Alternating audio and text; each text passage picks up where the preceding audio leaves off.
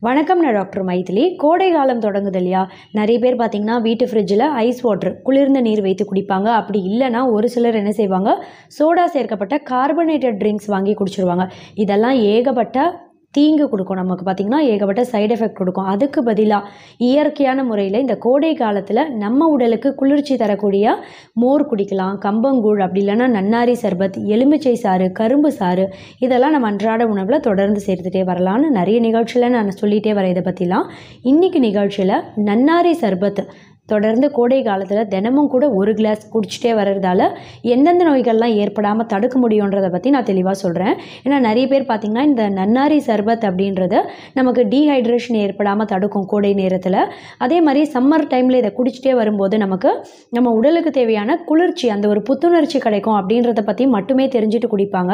ஆனால் இன்னும் ஏகப்பட்ட நோய்கள் ஏற்படக்கூடிய வாய்ப்பை நன்னாரி சர்பத் அப்படின்றது ரொம்ப ரொம்ப கம்மி பண்ணிடும். ரொம்ப குறிப்பாக சிறுநீரக கற்கள் உருவாகக்கூடிய வாய்ப்பை ரொம்பவே கம்மி பண்ணிடும். கிட்னி ஸ்டோன் வராமல் தடுக்கிறதுல நன்னாரி சர்பத் அப்படின்றதும் முக்கியமான ஒரு ஊட்டச்சத்து பானம். அதே மாதிரி யூரினரி ட்ராக்ட் இன்ஃபெக்ஷன் அப்படின்னு சொல்லக்கூடிய சிறுநீர் பாதையில் எந்த ஒரு தொற்றும் ஏற்படாமல் தடுக்கும். யூரின் போகும்போது எரிச்சல் அதிகமாக இருக்குது இந்த மாதிரியான பாதிப்பு இருக்குது அப்படின்றவங்களாம் நன்னாரி சர்பத் குடிச்சிட்டே வந்தீங்கன்னா அந்த பாதிப்புலேருந்து சீக்கிரமே வெளிவரத்துக்கும் ரொம்ப ரொம்ப உதவியாக இருக்கும். பொதுவாகவே நன்னாரி அப்படின்றது நம்ம உடம்புல நோய் எதிர்ப்பு தன்மையை நல்லா அதிகப்படுத்தக்கூடிய முக்கியமான ஒரு மூலிகை. இந்த நன்னாரி சர்பத்தை தொடர்ந்து குடிச்சிட்டே வரவங்களுக்குலாம் பார்த்திங்கன்னா வயிற்று பகுதியில் அசிடிட்டி பிரச்சனை ஏற்படக்கூடிய வாய்ப்பு ரொம்ப ரொம்ப கம்மியாயிடும்.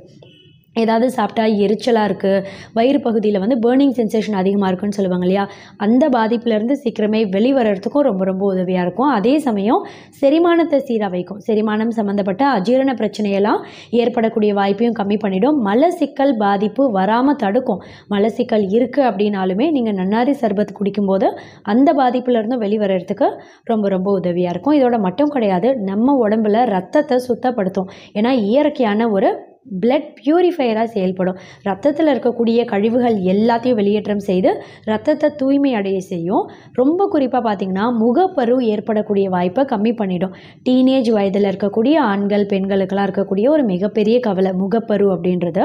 இந்த நன்னாரி சர்பத்தை குடிச்சிட்டே வரீங்க அப்படின்னும் போது முகப்பரு ஏற்படக்கூடிய வாய்ப்பும் ரொம்பவே கம்மி தான் சரும வியாதியான சோரியாசிஸ் அப்படின்னு சொல்லக்கூடிய ஒரு ஸ்கின் டிசீஸ் இந்த பாதிப்பு ஏற்படக்கூடிய வாய்ப்பும் ரொம்ப ரொம்ப கம்மி பண்ணிடும். இதனால் நன்னாரி சர்பத். தொடர்ந்து நம்ம அன்றாட உணவில் அடிக்கடி சேர்க்கணும். ரொம்ப குறிப்பாக கோடை காலத்தில் நன்னாரி சர்பத் குடிக்கும்போது நம்ம உடலுக்கு தேவையான ஹைட்ரேட்டட் அதாவது நமக்கு எப்போவுமே டீஹைட்ரேஷன் ஏற்படாமல் தடுத்து நமக்கு வறட்சி தன்மை வராமல் தடுக்கும். இதோட மட்டும் கிடையாது நம்ம உடம்புல நோய் எதிர்ப்பு தன்மையும் நல்லா அதிகமாக்கும் இதனால் அடிக்கடி ஏற்படக்கூடிய வைரஸ் தொற்று பாதிப்பு பாக்டீரியல் தொற்று பாதிப்பு பூஞ்சை தொற்று பாதிப்புலாம் ஏற்படக்கூடிய வாய்ப்பும் ரொம்பவே கம்மி தான் தேங்க்யூ